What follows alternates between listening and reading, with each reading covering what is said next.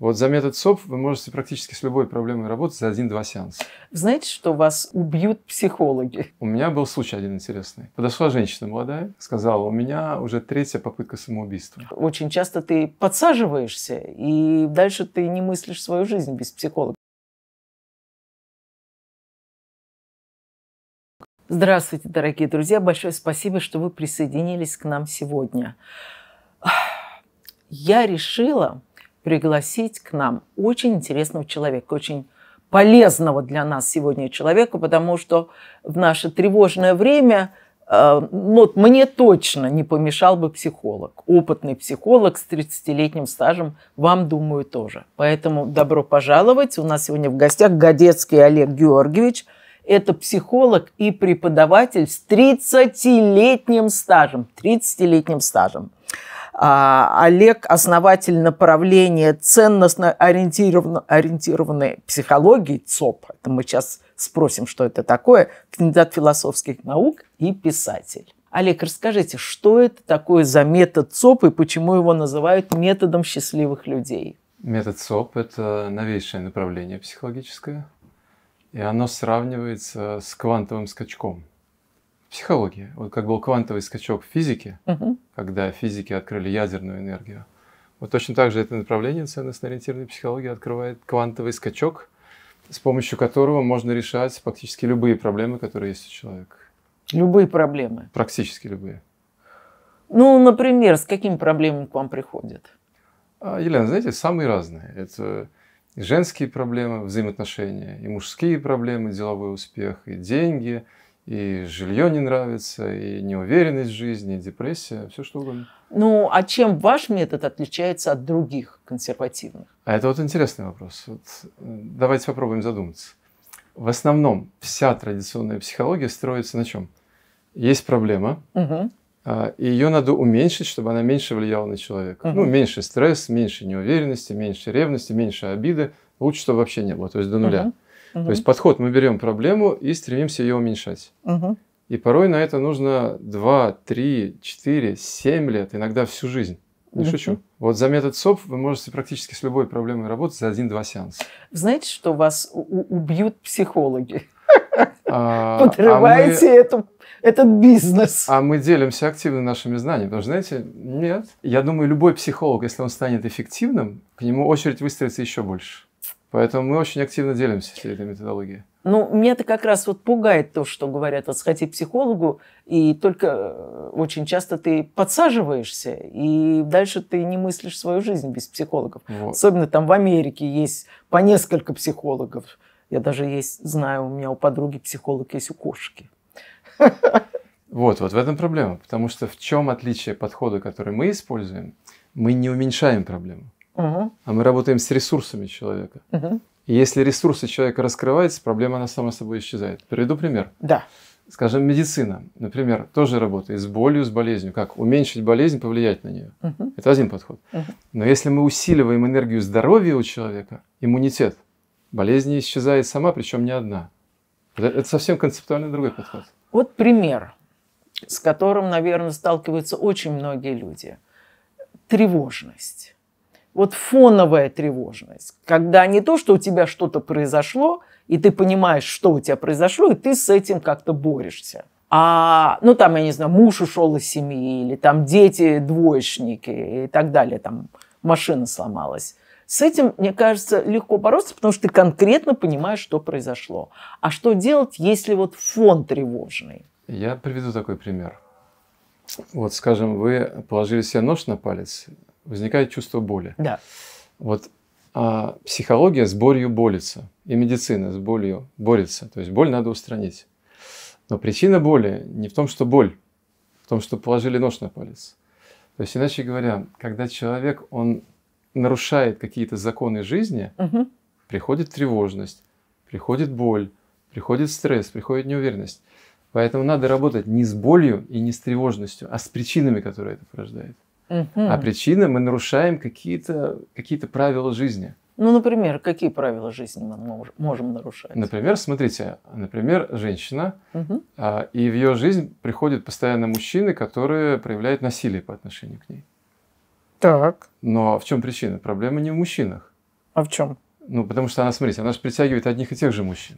Так. У нее глаза разные, уши а, разные. Ну, то есть она сама притягивает вот этих вот. Так которые... а в чем проблема это? У нее заниженная самооценка. И пока она не проработает свою заниженную самооценку, она не изменит этот сценарий взаимоотношений. А как вы можете поднять самооценку женщины? Это вот стоять у зеркала и говорить, ой, какая я красивая, какая я самое лучшее, самое замечательное. Ну, это я условно, но вот как она поднимается самооценка? Это большая такая тема, но в целом почти всегда эта тема заниженной самооценки связана с тем, что ребенок, девочка или мужчина, там, мальчик, не получил достаточно любви от родителей. Так, начинается.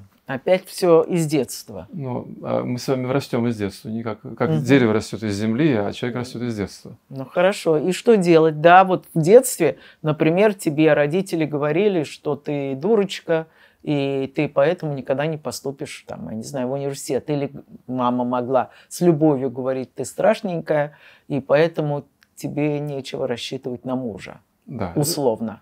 А да. как в возрасте 30 лет ты можешь изменить отношения.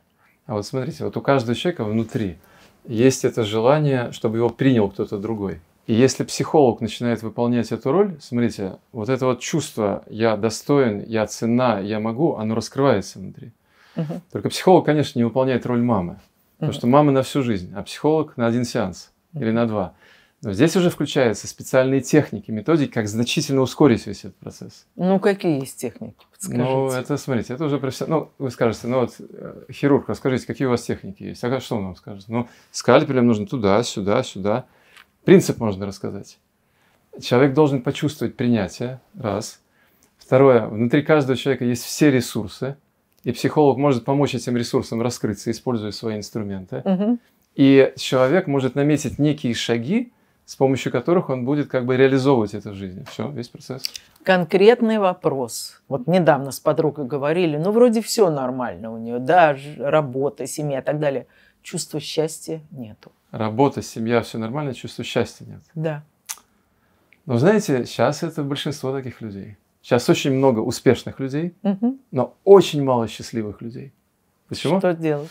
Одна из причин люди не реализуют свое предназначение. Да, а, почему? а если человек успешный, это не считает, что он реализовался? А вы знаете, предназначение оно связано с талантами человека, с качествами. Угу. Например, у меня был случай один интересный. А, подошла женщина молодая, сказала, у меня уже третья попытка самоубийства. Сколько лет? 25. Ой, девчонка. 25. Я начинаю с ней говорить. Был коротенький разговор, всего 5 минут. Так. А, и она мне говорит, я послушала ваши лекции, я понимаю почему. Я спрашиваю, почему? И она мне рассказывает свою историю. Она, знаете, когда я с ней стал говорить, у нее очень красивый голос. Это просто вот, ну я как бы много работаю как бы с людьми, это вот заворожил просто голос. А, она выиграла несколько международных конкурсов, когда ей было еще 14-15 лет. А кто она? По пению. По, по, пению. по пению. И она очень хотела петь. Угу. Это были а, там где-то, может быть, год, лет 10, может быть, назад было. И родители сказали, это не престижно. Вот у нас есть связи в банке, Угу. Экономический вуз, ты оканчиваешь, мы тебя устраиваем в банк, у тебя будет все хорошо в жизни. Угу. Ее устроили в банк, она стала руководителем отдела, у нее сумасшедшая зарплата, и она не хочет жить. Почему? Потому что предназначение не в деньгах, предназначение в таланте человека, в качествах, которые ему даны. И вот смотрите, сейчас люди устремлены к успеху, но они забывают себя, и поэтому несчастны. Они добиваются успеха, но потом думают, а зачем он нужен, если я испытываю неудовлетворенность? Угу. То есть вы призываете молодых людей заниматься тем, что им нравится, а не тем, что приходит. А вы знаете, а вот когда доход. человек занимается тем, что нравится, придет и успех. Ну да, многие знаменитости так говорят. А, не просто так. Да, я вчера слушал выступление Шер, певицы Шер, ей там что-то такое вручили, ей уже много лет.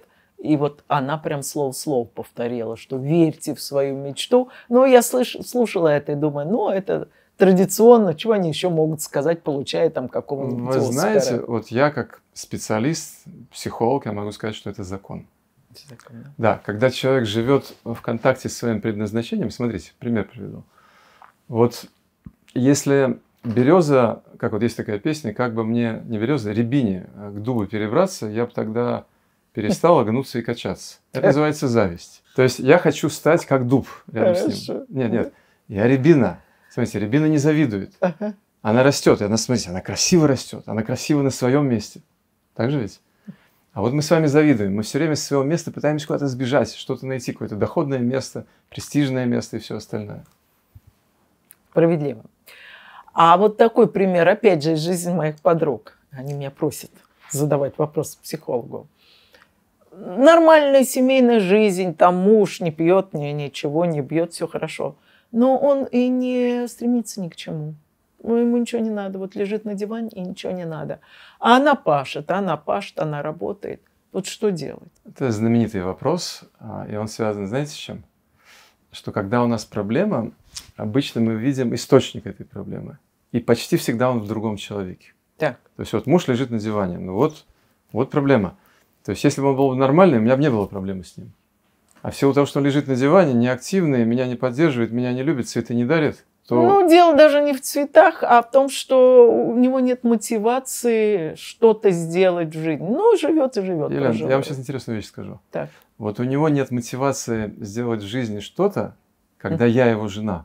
Вот смотрите, вот есть два подхода к жизни. Uh-huh. Первый подход очень распространенный, когда мы пытаемся воздействовать на другого человека, повлиять на него, изменить. Как мне одна женщина недавно рассказывала, у нее муж, в общем, алкоголик с 50-летним стажем. Да, она им говорила, я, я с ним что только не делал. Я даже бил его, ребро самого. Но он, не, но он не меняется. Ну, вот, после этого... Вот смотрите, вот 50 лет она пыталась на него влиять, чтобы самой стать счастливой рядом с ним. Так. Я с ней работал полтора часа. Так. Через полтора часа у нее не было этой проблемы. Через полтора часа муж бросил пить, или она перестала обращать а, внимание на пьющего Вы знаете, мужа? она пришла домой в другом состоянии. У мужа был запой, у сына был запой, у невестки был запой. Они все там пили семейка веселая. И она вдруг почувствовала, что на нее это не влияет. И на следующий день муж не смог пить. Почему? А потому что она изменилась. Он реально, он взял стакан, я вам реальный случай рассказываю. Он пришел к ней с утра на кухню, чтобы опохмелиться, берет стакан, пытается в рот залить, его затошнило. Он смотрит на нее, понимает, что что-то может с ней как связано. Она просто сидит, чай спокойно пьет. Раньше борал на него. Да. Сидит, счастливая, спокойная. Он вторую попытку делает, опять затошнило. А он с третьей попытки не смог выпить, ушел. Это мистика жизни. Вот смотрите, когда мы пытаемся влиять на других людей, на внешние обстоятельства, угу. проблема только усугубляется. Но когда я начинаю работать с собой, понимая, что эти обстоятельства это как урок от жизни, мне, мой урок, это мне жизнь что-то показывает. Вот смотрите, как мы сказали, женщины, которые приходят насилие со стороны мужчин. Но эти э, жесткие мужчины показывают ей, жизнь через них показывает, у тебя заниженная самооценка. Mm. Ты себя не любишь, ты себя не уважаешь. Вот это причина. Опять заниженная самооценка. Друзья, хотела напомнить вам, если вам это все интересно, что мы сейчас обсуждаем, пожалуйста, ставьте лайки и подписывайтесь на нас. Возвращаемся к теме самооценки. Как поднять себе самооценку? Первое, если говорить о профессиональных таких вещах, есть страх быть самим собой. Есть страх проявляться. Почему? Потому что а, у человека есть некий комплекс внутри, он все время себя оценивает глазами других людей. Угу. То есть у него нет своей самооценки. У него есть оценка, как на меня этот смотрит, как на меня эти смотрят, как на меня эти будут реагировать. И он все время как бы со стороны на себя смотрит. Угу. То есть это опять мы возвращаемся ребенок, который боится проявлять себя. Надо разблокировать вот эту энергию. Надо убрать эти ограничения, которые стоят, чтобы человек почувствовал связь с собой, чтобы человек обрел решимость себя проявлять, получил удовольствие от того, что он проявляет себя. У меня а, буквально два дня назад закончился тренинг, угу. а у женщины была похожая проблема. А, я в присутствии людей, там было где-то около 100 человек, я с ней работал просто. Ну, показывал технологии, вот эти ЦОП-технологии показывал. Потому что ЦОП-технология может примениться к любой человек, абсолютно любой человек. Она основана на интуициях психики человека. Я работал с ней один час, и я ей сказал, «А, давайте вы сейчас споете. Она говорит, хорошо. Берет микрофон, и там сцена была. Я хочу, говорить на сцену подняться. Я говорю, хорошо, поднимайтесь на сцену. Она поднялась на сцену и перед залом запела. Она умела петь? А, она пела только дома, э, немножко в там душе. дочери помогала. Она, у нее один из самых сильных страхов это публичных выступлений был. Это очень большая проблема. Да. Она запела. Вот смотрите, час работы был. То есть это методология ЦОП. Угу. Самые сложнейшие проблемы за самый короткий промежуток времени могут быть изменены. Если говорить о самооценке, есть проблема у женщин, которые боятся отношений из-за того, что они не верят в то, что их могут полюбить, по-настоящему могут полюбить, и она красивая. Она... Особенно речь идет уже о возрастных женщинах. Вот как с этим бороться? Как женщине создать отношения, если долго не получается?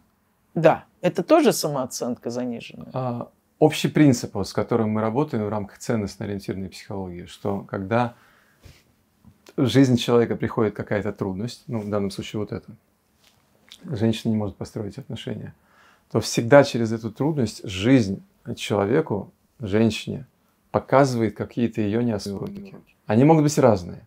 Например, а, я сейчас вспоминаю одну женщину, у нее интересная ситуация была. У нее отношения строились, она была интересная такая, мужчины привлекались ей, много отношений, но все разрушались. Долговременных отношений не возникало. Да. Она пришла с этой проблемой. Так. Знаете, в чем причина была? Нет. Она в глянцевых журналах усвоила некую модель, что женщина должна быть такой активной, знаете, такой динамичный, смелый такой вот. И вот она так себя показывала. Угу. Бери от жизни все. Ну, примерно так. И такие же мужчины привлекались. Угу. Они видели, как вот, ну да, да, это вот то, что... Но когда они начинали с ней общаться, они чувствовали что-то не то. Потому что это не она была. Угу. Она играла этот образ. Угу. И она притягивала к образу. Но когда они начинали длительно общаться... Они чувствовали фальш. Они чувствовали фальш. Они понимали, какой другой человек, и они ее оставляли. Смотрите, опять причина. Очень интересно. Когда мы играем роли, мы всегда будем неуспешны. Человек должен быть настоящим. Человек должен жить в соответствии с своим предназначением. У каждого человека есть своя эмоциональная модель какая-то. Холерики, сангвиники, смотрите, это все типажи. Да. Это все наша природа. Рябина не завидует дубу. Растет как рябина. Ландыш э, не завидует, я не знаю, там какой-то розе какой-то. Он цветет как ландыш. Угу. Вот сейчас очень много людей, они приспосабливаются под окружающую жизнь. Угу. Нам нужно учиться быть самим собой. Это очень сложно. Да, но знаете, меня в свое время вдохновила одна поговорка. А, будь самим собой, потому что никому, кроме тебя, это не получится сделать. Отлично. Я очень хорошо понимаю, о чем вы говорите, потому что я сейчас снималась в фильме Гай Германики «Обоюдное со- э, согласие», а я не актриса. Но я решила, что раз меня пригласили, у меня роль надо будет играть. И Гай Германика кричал на меня, прекратите играть, вы не умеете играть.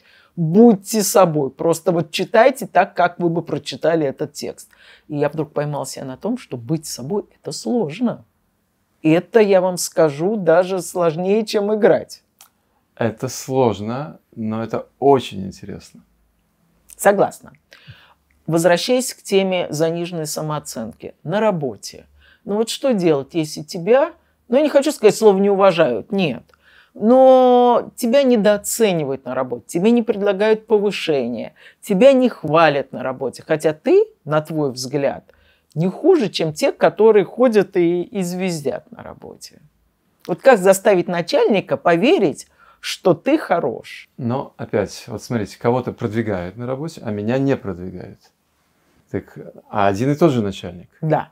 Так это означает, что проблема не в начальнике, а проблема опять какая-то у меня. То есть мой какой-то невыученный урок в этом. Они могут быть разные опять.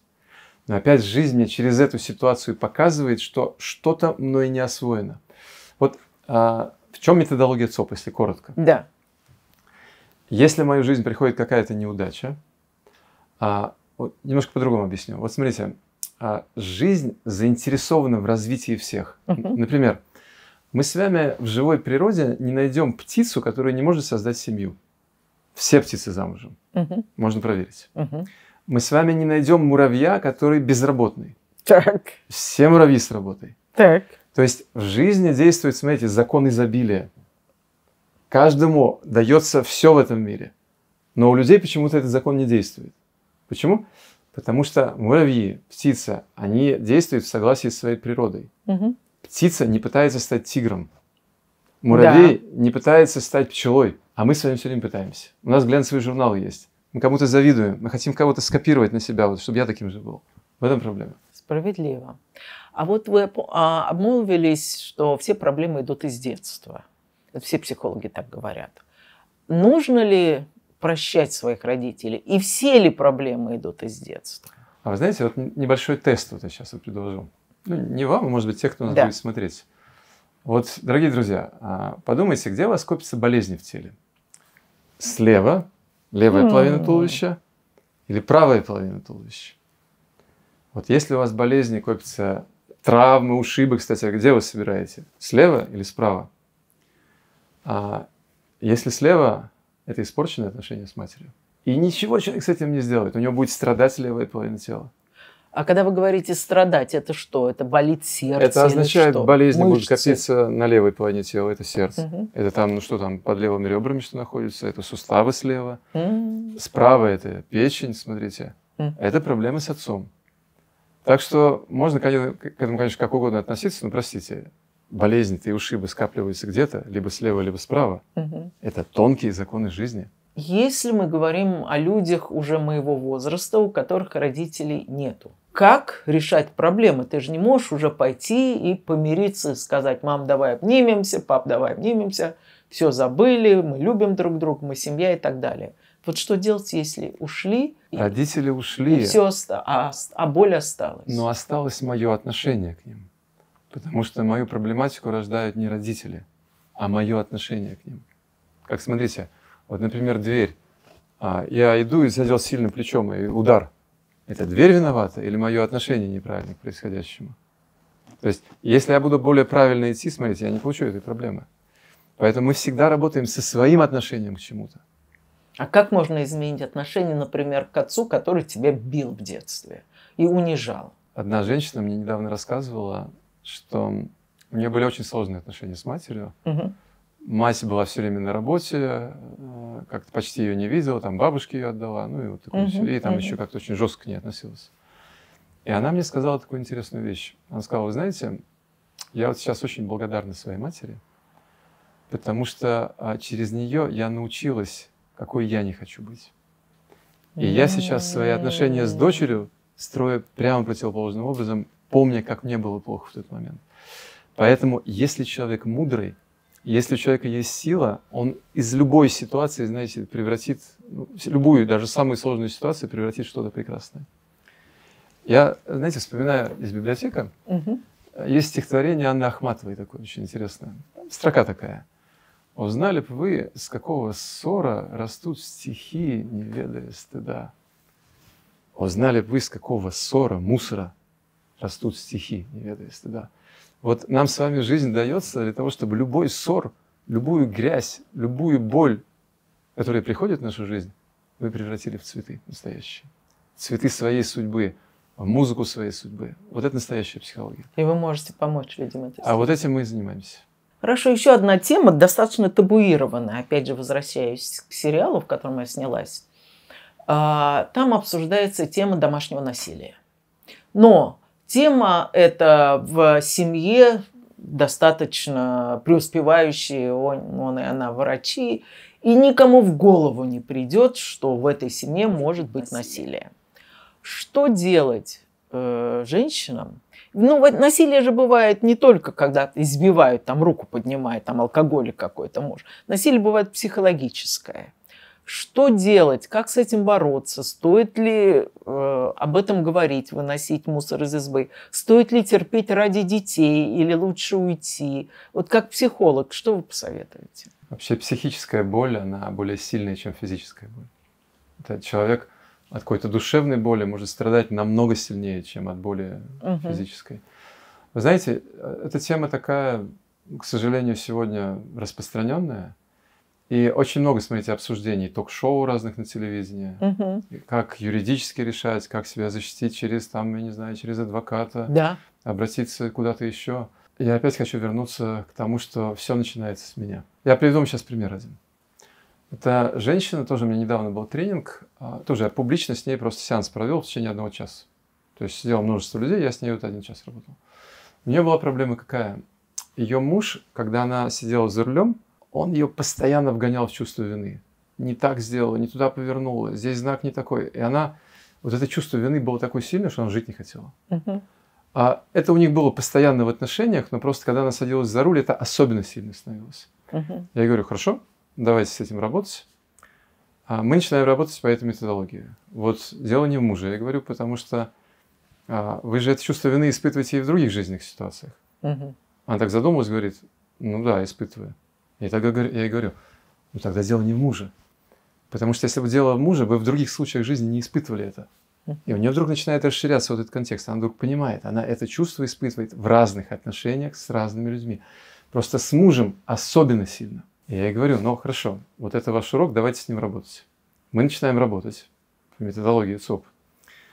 А через час я ей говорю, давайте проверим результат. Я ей говорю, представьте, вот вы сидите, значит, за машиной, прям представьте вот мысленно.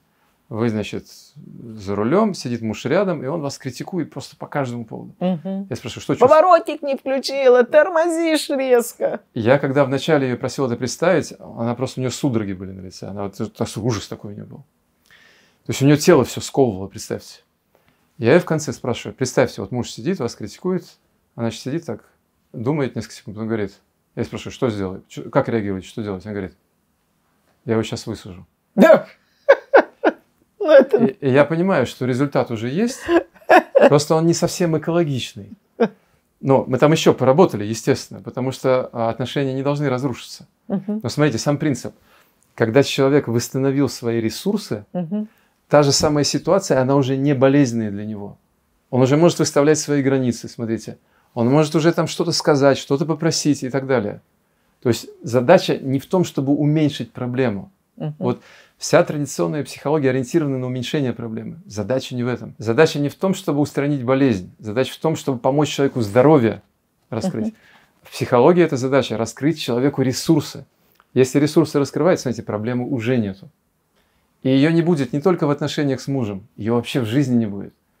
Потому что я раскрываю ресурс, это означает, я начинаю успешно действовать не только в отношениях с мужем, но и во всех жизненных ситуациях. Вот это подход СОП. Возвращаясь к теме обиды детской и родителей, которых уже нету. Как решить эту проблему, когда родителей уже нет? Это вопрос внутренней работы. У меня, знаете, в интернете одна из самых популярных медитаций, которую я записал лет, наверное, 25 назад. Это была первая такая аудионастройка, которую я записал. Первая. Я не умел ее делать. И просто вот каком-то она в потоке таком родилась. Она называется «Очищение памяти детства». Это э, тысячные, сотни тысяч просмотров ее. Вот я бы рекомендовал людям найти эту настройку. Uh-huh. Медитация, очищение памяти детства. Uh-huh. Она очень коротенькая, там 30 минут, но с ней надо работать, ее не надо слушать. Там все говорится, что делать. Вот там дается эта работа на очищение вот этой памяти. То есть это решаемо. Это решаемо. Хорошо. Что делать с чувством тревоги постоянным? Тревога а, это неосознанная. Сиг... Да, тревога это сигнал человеку от жизни, нужно работать не с тревогой. А с чем? А, есть разные причины, откуда тревога возникает. Вот смотрите, я сейчас недавно записал такой видеокурс как раз по работе с тревогой, со стрессом, а, с беспокойствами. И что мы там обсуждаем с людьми? Что причина тревоги сегодня у людей комплексная. Вот смотрите, я вам сейчас назову просто пять навыков. И вот задумайтесь, будет ли у вас тревога, если у вас будут эти навыки. А, первый навык. Вы умеете управлять своими эмоциями. То есть, например, вы замечаете тревогу, и вы знаете, что с этим делать. Угу. Это первый навык – управление эмоциями. Второй навык а, – вы умеете принимать решения, которые соответствуют вашим ценностям. Угу. То есть вы не принимаете решения, которые не ваши, потому что когда человек принимает решения, которые не его, ну как бы не его дорога, скажем так, ему изнутри будет подсознание подсказывать тревожностью, ты не туда пошел. Поэтому второй навык – как научиться принимать решения, которые соответствуют моим ценностям. Второй навык. Третий навык – как снимать последствия стресса самому. То есть, потому что, знаете, когда стресс, он углубляется, он накапливается, его очень трудно уже оттуда вытащить. Да. Но если человек получает навык, как заметить стресс и как себя восстановить, смотрите, он не накапливает это. Угу. Я сейчас не буду говорить дальше, я просто привожу пример. Вот когда люди научатся этим простым навыкам, как работать с собой, то для тревоги, для беспокойства, э, э, стресс у него просто почвы не будет. Меня, знаете, меня в свое время, это не реклама, меня в свое время поразил один пример. У меня был компьютер. У меня один мой друг говорит, а ты что, говорит, это самое, это как-то на Windows это все. Угу. Может быть, Apple? И говорю, нет, я не люблю никаких изменений, вот у меня тут все хорошо, мне да, Apple, Apple не, не нужен. И он мне говорит, но ты же это самое, это, с вирусами борешься? Это было лет 15, может быть, 20 назад. Я говорю, ну да, как без вирусов? В интернет э, выйдешь, там столько вирусов. Там, анти... Он говорит, ну ты антивирусы? Я говорю, да, покупаю антивирусы. Uh-huh. Говорит, ты знаешь, в Apple, а, в, вот в этом компьютере Apple, там вирусы не запускаются. Я говорю, как не запускаются? Говорит, а там другая операционная система, там они просто запуститься не могут. Сейчас там уже и там вирусы появились. Угу. Но для меня это был шок просто. То есть, так. понимаете, если мы меняем операционную систему своего ума, угу. то вот эти все состояния, тревожность, вина, стресс, беспокойство, они просто не запускаются. Поэтому задача не с ними бороться, угу. а научиться как бы вот другой культуре, что ли, взаимодействовать с своим внутренним миром. Это вот то, чем мы занимаемся. Сколько времени уйдет на то, чтобы научиться а... менять свою операционную систему, которая годами воспитывалась? Ну вот я работаю с человеком час, полтора, два, два с половиной. Обычно больше не работаю. То есть, если мы знаем четкие как бы законы, как устроена психика, то все становится очень быстро. Вот смотрите, пример приведу. Много комнат темных. Вы где-то потеряли ключ. Угу. Вы можете бесконечно его искать. Но если вы знаете, в какой комнате потеряли и в каком примерном месте, и где выключатель света, угу. то вы ключ найдете очень быстро. Так. Это вопрос в знании. Угу. Это просто вопрос знания. Понятно. Не знаю, насколько убедил, но вот по крайней мере пытаюсь объяснить. Хорошо, раз у вас так все просто, как быть счастливой? Счастливой? Это задача жизни. Так. У нас, знаете, в нашем институте много людей сейчас учатся. Институт ценностно-ориентированной психологии. А это институт для кого? Для психологов? У нас учатся и специалисты, мы обучаем профессионалов. Угу. У нас учатся и обычные люди. У нас, например, одна из самых популярных программ называется «Наука жизни. Личная эффективность». И вот эта программа о том, как стать не только счастливым, это мало, как стать успешным и счастливым, то есть и эффективным, то есть достигать многого в жизни, но не терять эту связь с собой, вот этот уровень uh-huh. счастья раскрывать. Потому что, знаете, настоящий стандарт жизни не в деньгах uh-huh. и не в карьере – настоящий стандарт жизни и в деньгах, возможно, для кого-то, и в карьере для кого-то, потому что у нас у всех мы хотим реализоваться, но и в счастье. Счастье по дороге нельзя потерять. Так вот, вот, вот как соедин... стать счастливым? Ну, чтобы стать счастливым, а, хорошо, три, три вещи, вот, с которыми мы работаем, собственно, в этой базовой программе нашего института. Первое. А, надо проработать все эти программы, которые мешают нам. Каждый человек живет с какой-то фоновой негативной эмоцией. У кого-то эмоция вины, у кого-то эмоция неудачника, у кого-то эмоция одиночества. Вот какие-то фоновые эмоции у каждого человека. Uh-huh. То есть бессознательные программы. Первое, что нужно сделать, нужно это проработать. А это знаете, как вот у вас никогда не видели, вот как росток сквозь асфальт пытается пробиться. Как ему тяжело. Вот асфальт это все эти программы. Когда мы их убираем, когда человек их прорабатывает, знаете, росток сам начинает вот так вот лезть просто наверх. Uh-huh, uh-huh. Это первое, что мы делаем, помогаем человеку проработать эти бессознательные программы. Uh-huh. Второе. Вот когда человек проработал эти программы, он приходит в контакт с собой, он начинает себя чувствовать, он начинает себя понимать. Первая задача человека в жизни вообще – обрести контакт с собой. Вот это целостная гармоничная личность. Это первое. Вторая задача, когда я этот контакт обрел, жизнь ставит передо мной вторую задачу. Uh-huh это гармония в отношениях с другим человеком. Деловые отношения, личные отношения, это все будет вот эта вторая задача. Как строить отношения. Угу. Вот дальше три с половиной месяца мы работаем с этой задачей. Угу. Это, ну, это уже такая большая вещь. Угу. И вот после этого у нас появляется возможность решать самую главную задачу жизни. Так. Реализация предназначения. Потому что предназначение может возникнуть только на базе вот этих первых двух задач. Угу. Ну вот это наука, это культура, и это, знаете, я бы так сказал, это, это самое лучшее вложение в себя, вот вложиться вот в такие знания. И овладеть их на уровне навыков своих личных. Скажите, а как психоэмоциональное состояние влияет на финансы человека? А, можно одну историю расскажу? Давайте. Она меня поразила. Она, знаете, она очень точно отражает вот те принципы, с которыми мы работаем. Так. А я недавно лазил в интернете, ну что-то там мне нужно было. И мне попался один ролик. Сидит мужчина а, лет, ну, под 40, наверное, я uh-huh. думаю. И рассказывает историю своего успеха. Uh-huh. Он крупный бизнесмен, у него серьезный очень бизнес. И он рассказывает историю а, своей жизни, за счет чего он этого успеха добился. Uh-huh. И вот коротенький эпизод, который повлиял на всю его жизнь. Говорит, я знаю, именно этот эпизод, он стал причиной всего того, чего я добился сейчас. История была такая, что 14 лет, когда ему было, он с матерью уехал, э, уехал в Германию. А, отца не было, и он в Германии ну, рос, и где-то лет там 18-17 пошел работать в одну корпорацию. Uh-huh. И он к этому моменту э, проработал там три года. Германия очень дисциплинированная страна. Да. Я просто был там несколько раз, это, это что-то вообще. Да. Это не да. для нас. Их успех, кстати говоря, во многом связан с дисциплиной, да, один из секретов, да. Угу. И он никогда на работу не опаздывал. Он знал, угу. насколько это вот, ну, как бы не принято просто здесь. И вот в это утро, говорит, я опоздал на 10 минут. Но у меня, говорит, было алиби. Угу. У меня автобус опоздал на 10 минут, я тут был ни при чем. Я, говорит, я русский, я как бы знал, что я тут ни при чем, автобус виноват. Германский автобус виноват. Угу. А автобусы в Германии тоже не опаздывают. И вот за три года первый раз у него автобус опоздал. И он говорит, я иду по коридору. Навстречу мне идет мой э, руководитель, немец такой, лет по 50, такой очень дисциплинированный, очень успешный, реализованный, эффективный, угу. улыбается. Так. А, и с этой улыбкой подходит ко мне и говорит, там, хер такой-то, угу смотрит на часы, показывает, вы опоздали на 10 минут и улыбается. Mm-hmm. Такой, ну, очень доброжелательный. Mm-hmm. И тут ему говорит, ну, я тут ну, ни при чем, тут автобус опоздал. Да, ваш. Да, ну, я не стал говорить ваш, но автобус опоздал, это ни при чем.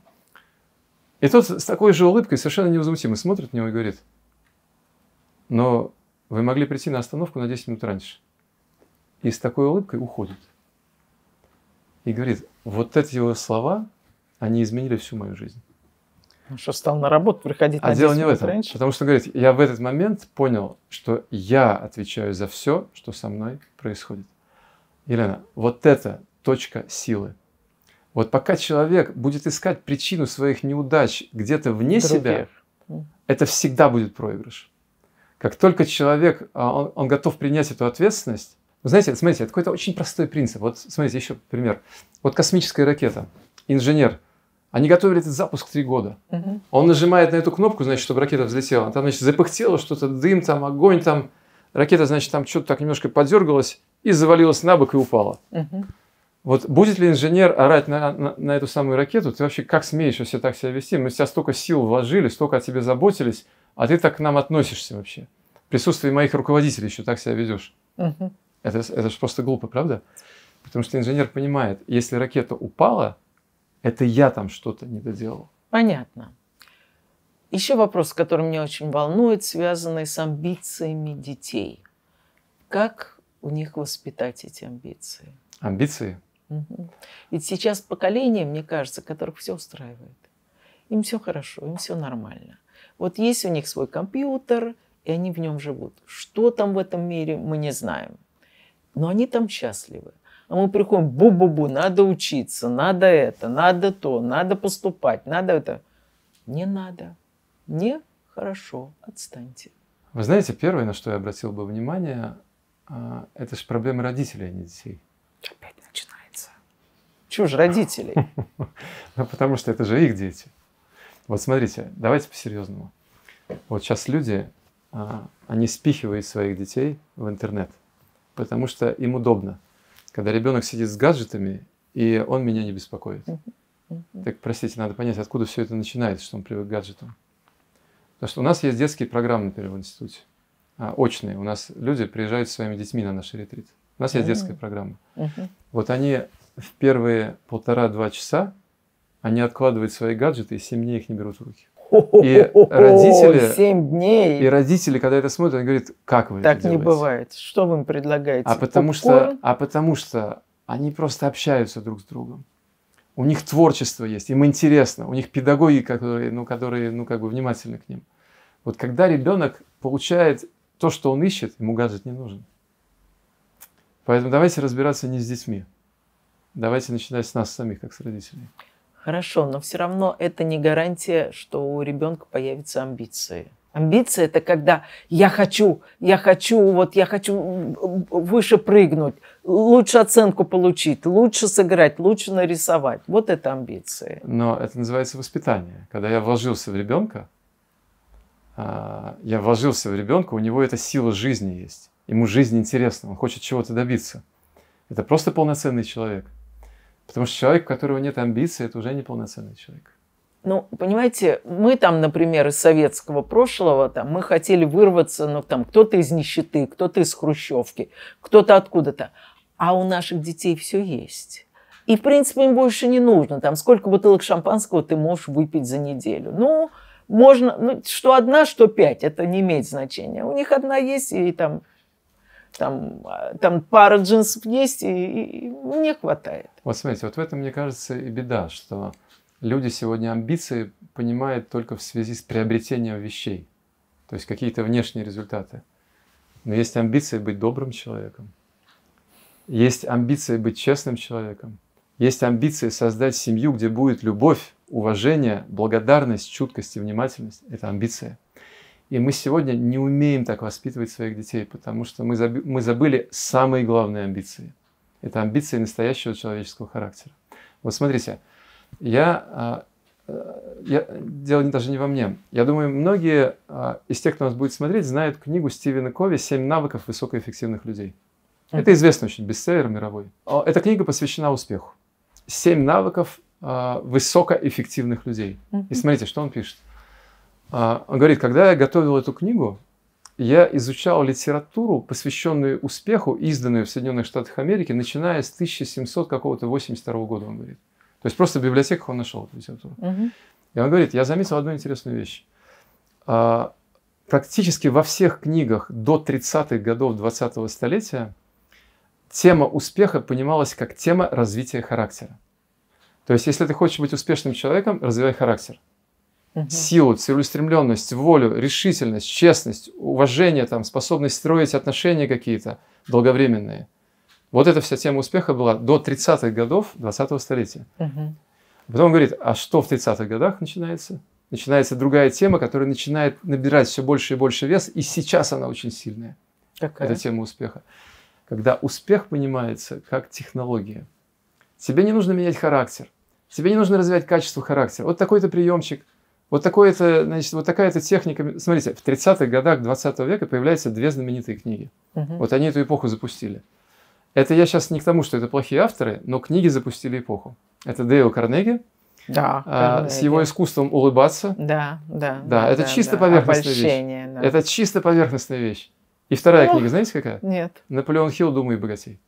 Это уже технология, вот там, вот типа, если будешь правильно думать, будешь богатым. Опять характер не важен. Угу.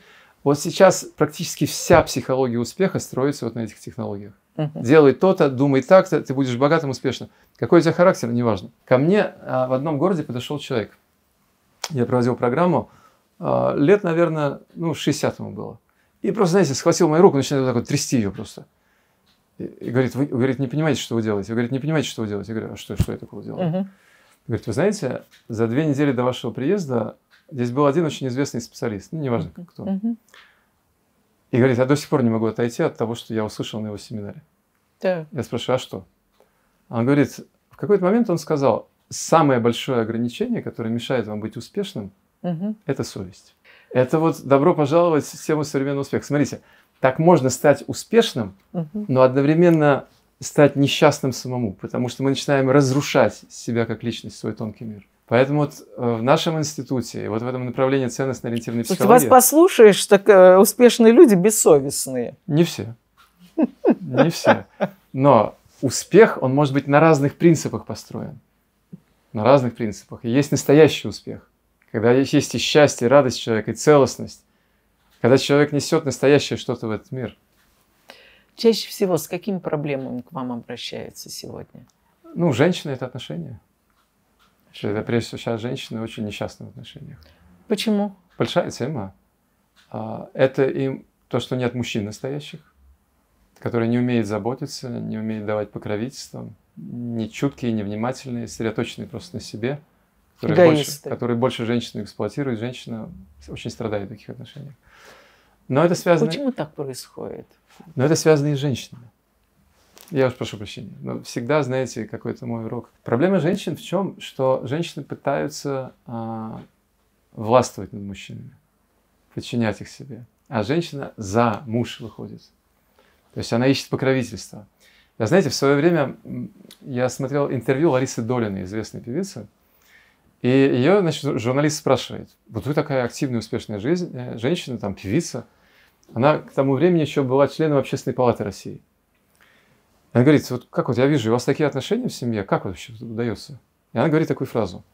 Вы знаете, говорит, я когда прихожу домой, я становлюсь слабой. Вот что такое настоящий успех женщины. Она, смотрите, она в социуме, она сильная, она творческая, она вот управляет там. Но когда приходит домой, она слабая. Она разнообразная. Вот женщинам нужно учиться быть разнообразными. Ну, извините, Олег, здесь она, получается, где-то лукавит. Если она сильная, а я знаю, что она сильная, а дома она играет, муж почувствует фальш. А она не играет. А почему играет? Нет, нет. Если женщина играет, она не сможет смотреть. Зачем играть а, в то, что обо мне заботится? Это же с любой женщине приятно, что о ней заботится. Очень приятно. Это не игра, это ее сущность. Ну, мне просто интересно, а почему мужчины такие стали? Мужчины почему такие? Да. А потому что отцы не воспитывают мальчиков. Mm. Потому что отцы не показывают пример, кто такой настоящий мужчина. Согласна. Поэтому вообще все начинается с мужчин. Ну и от женщин что-то зависит. И спасибо за интересную беседу нашему гостю, Годецкому Олегу, э, психологу, преподавателю с 30-летним стажем и автору очень интересного метода ЦОП, э, который называется ценностно ориентированной психологии ЦОП. Теперь мы знаем, что это такое, и будем пользоваться. Всего вам доброго.